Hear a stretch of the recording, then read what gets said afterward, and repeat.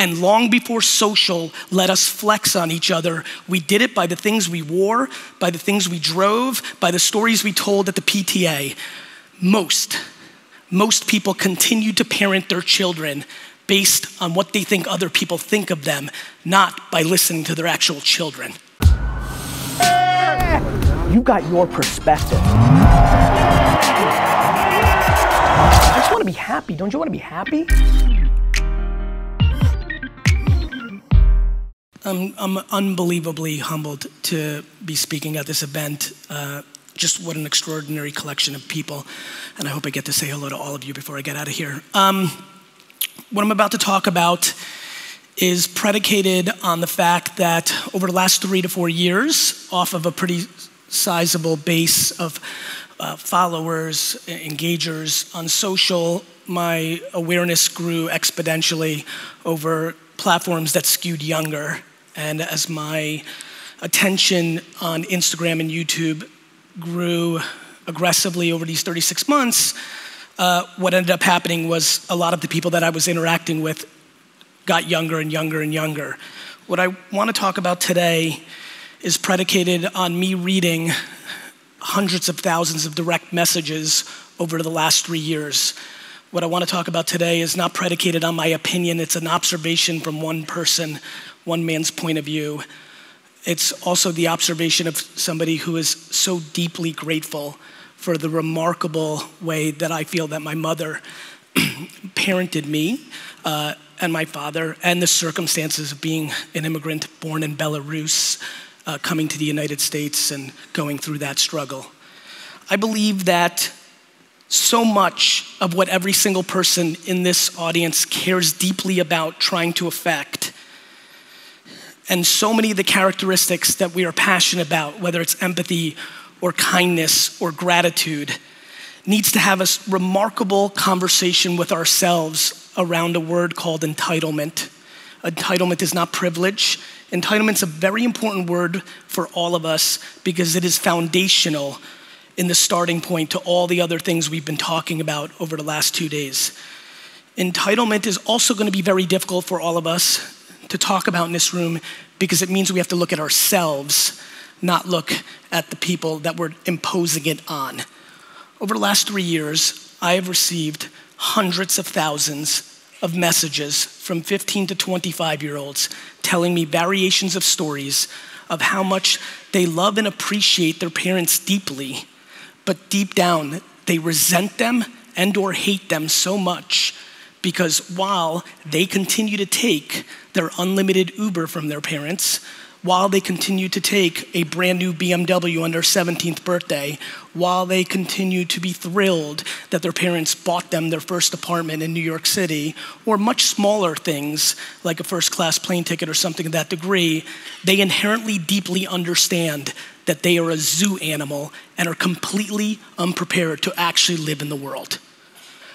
This is very difficult because so many, like myself, come from places where you start with nothing Half this audience came from the fucking dirt, the others had parents or grandparents that did.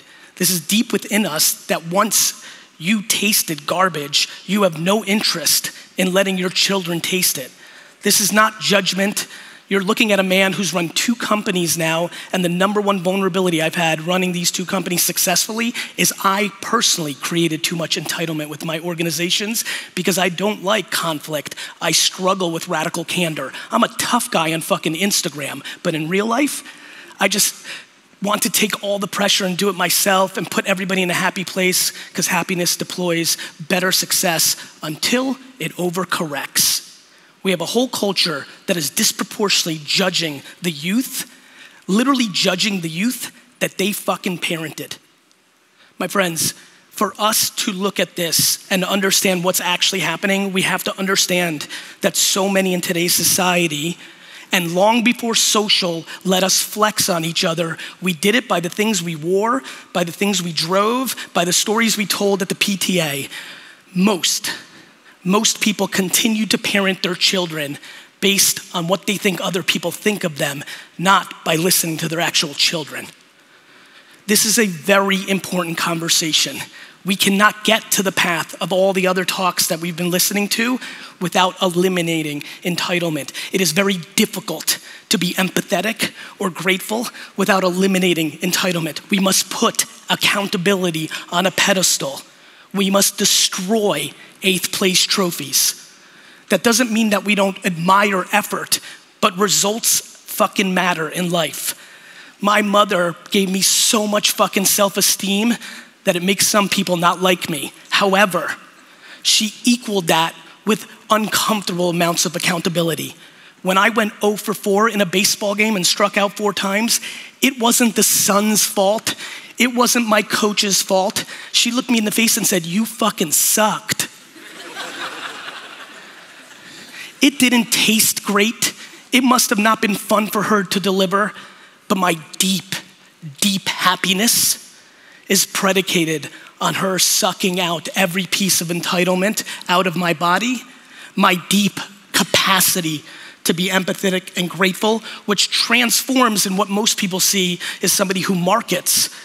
But in the way I navigate my life and the way that I market to the end consumer, my unbelievable opportunity to speak in front of this crowd today is predicated on listening I talk, you listen to my podcast, I interrupt every single person that is on my show because I've already heard what they said and I just want to move it along and we don't fucking edit. It seems mean, it seems audacious, it's deeply based on listening.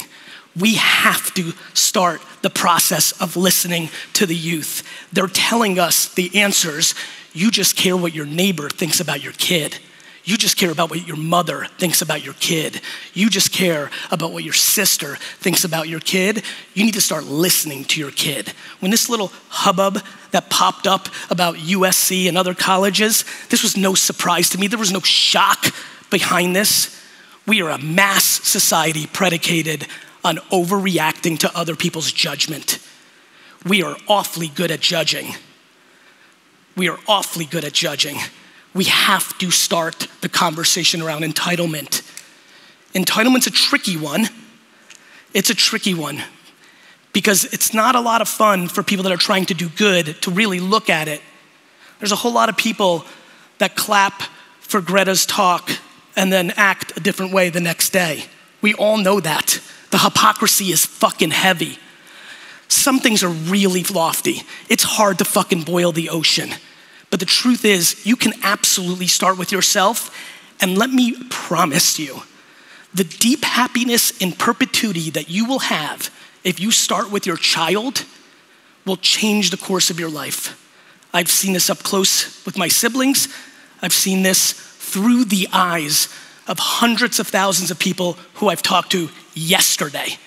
The resentment is palpable.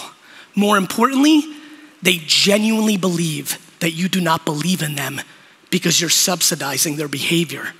Fake environments were the seed that led us to the uncomfortable place we're in, predicated on an enormous amount of money and happiness in the macro over the last 70 years. And much like in our venture community, where people no longer actually build businesses, but they're building financial arbitrage machines to raise capital and spend zero fucking time caring about their consumer and 100% of their time caring about venture capitalists and press, we equally have a community of parents worried about what other people think instead of how their kids feel.